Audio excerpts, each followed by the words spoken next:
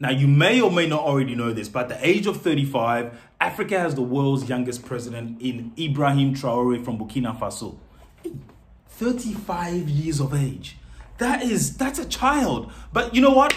I'm more than happy for him to take over the country if he's going to do a little bit better than the older guys who sell the country off to the Europeans, especially to the French. And Ibrahim Traore became leader of Burkina Faso through a military coup. Now, I'm not saying that that's the right way to go about things. However, in this instance, I think he did the right thing because some of these leaders, they're too stubborn.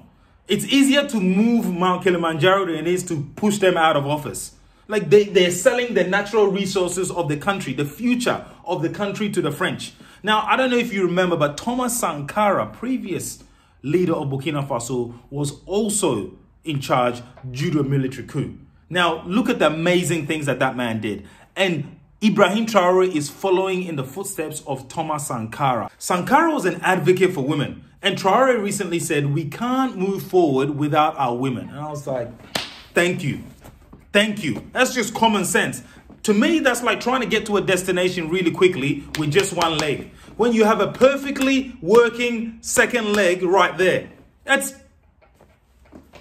my brother, thank you. Sankara once said every woman should be given the opportunity to earn an honest living and be able to live with dignity. I mean, that's basic, isn't it?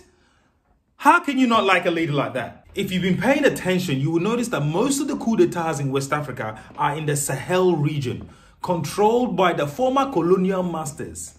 I say former as if they are still not there.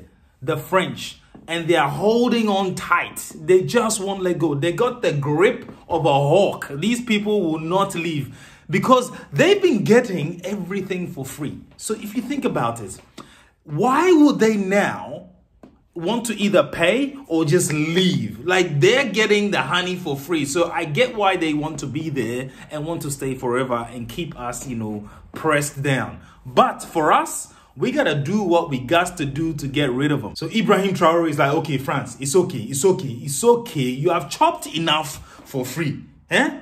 But the French are obviously like, oh no, we do, we do not want to leave. Uh, we, we, we are getting this uh, for free. Here's the thing. Since Traore took over, relations between Burkina Faso and France have soured. Surprise, surprise. Because they were used to getting everything for free. You know, the puppet leader was just giving everything away. I mean, prostituting the country. Actually, that's an insult to prostitutes because at least they get something back for it. We get nothing. We get screwed and nothing in exchange. There was a French military personnel by the name of Emmanuel Pascal who was on the grounds of Burkina Faso. He tried to move Traore out of office, but the people of Burkina Faso were like, hey, hey, my brother, get out. Get out of our country. You have two weeks. They took to the streets and protected their young leader, which I thought was just beautiful. I am a little bit worried though because Traore has formed an alliance with Russia. Ish. Out of the frying pan into the fire. If you think about it, what the French government is doing is basically sexual harassment. We said no. Why are you still trying to touch us? Eh? They see us like the pretty woman with a fat ass. They're like, ooh, let me. We said no, my friend. Ah, they're like Pepe Le Pew. Now that dude was a rapist. The woman will be like, no, no, no, no, no, and he'll be like, oh, baby, come.